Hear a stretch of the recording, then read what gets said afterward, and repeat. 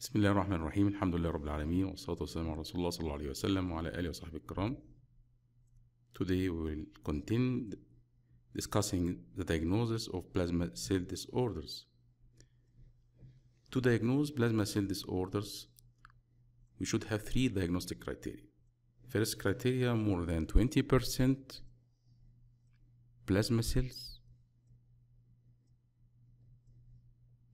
in the bone marrow aspiration. The second criteria to find lytic lesions in X-ray. Third criteria to find paraprotein in the serum or Bence-Jones protein in the urine by serum protein electrophoresis and urine electrophoresis. Serum protein electrophoresis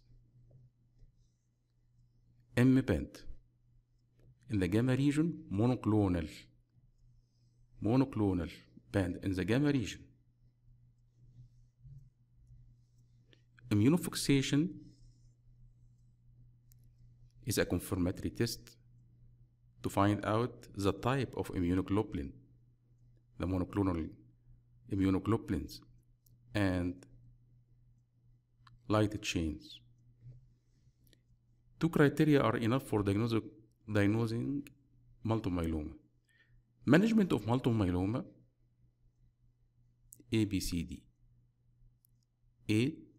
To correct anemia, thrombocytopenia, and the treatment of infection by blood transfusion and using of the prophylactic antibiotics. Management of renal failure, if present, or preventing renal failure due to multifactorial causes. C. Management of the hypercalcemia. D. Management of hyperviscosity.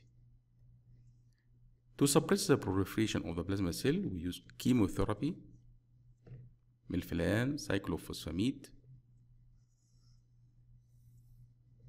are examples of the chemotherapeutic agents used for treatment of the plasma cell malignant plasma cells and bone marrow transplantation